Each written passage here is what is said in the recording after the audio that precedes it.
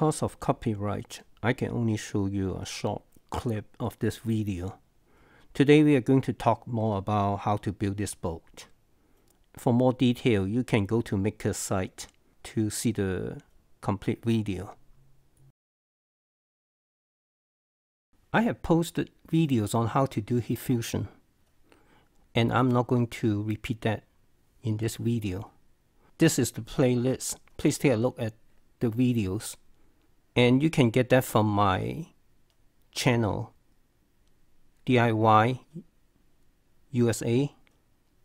Please also take a look at my Gen 12 videos because it will cover things I may not include in the Gen 14 videos. The hull of Gen 14 is made up of two sheets of coroplast, and they are overlapped at the middle. The question is how much overlapping do we need? It really depends on which kind of fusion method you use. The old method I use only 3 inches, but with the new method using an iron, it would be wider. The fuse joint is stronger than using tape or glue I have tried it, but it is not watertight. To fix that, after I use the iron to fuse the coroplast together, apply a layer of silicone sealant at the joint. Then I seal the edge with Gorilla tape and it will give me a reliable and watertight joint. Assume that you use the iron to fuse the joint and the width of the iron is at 4.5 inch. Then I allow 1 inch for the sealant and another inch for taping the Gorilla Tape. So a total of 6 inches will be needed. And at the bottom of the joint, I would like to apply another layer of Gorilla Tape so as to prevent any water from seeping into the inner channels of the coroplast.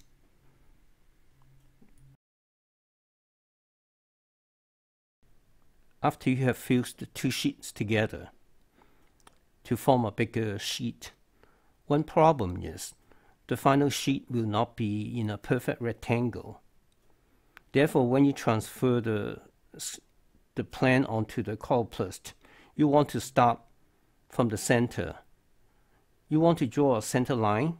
You do all the measurements based on the center line.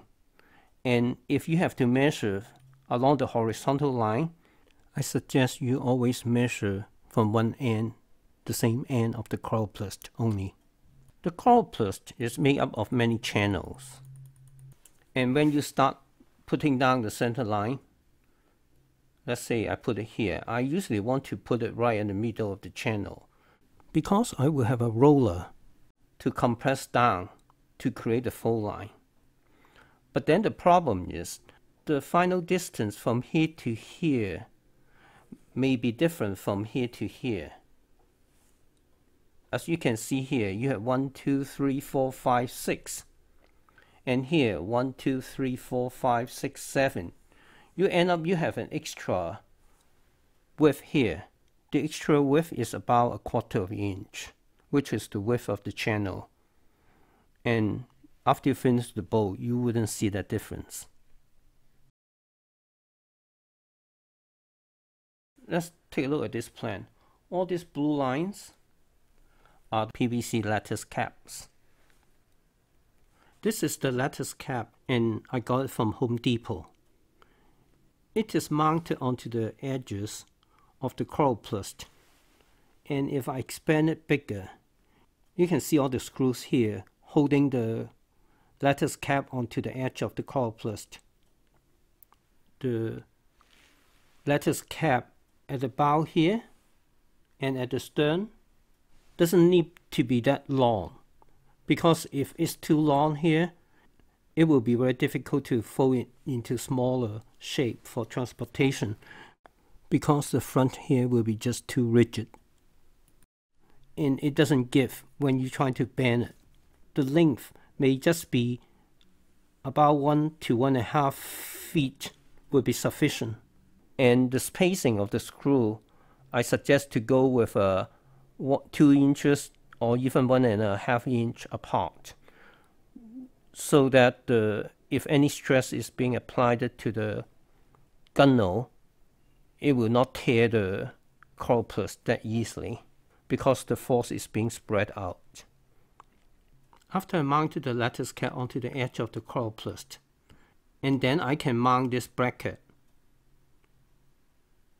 I will use a PVC pipe to create a shape like this. The ends will be inserted into this hole here as you can see here and also this cross beam here. There are different ways to secure this cross beam. The one I illustrate here is trying to drill a hole onto the PVC pipe and then use use a hitch pin insert into the holes and stop the cross beam from coming out.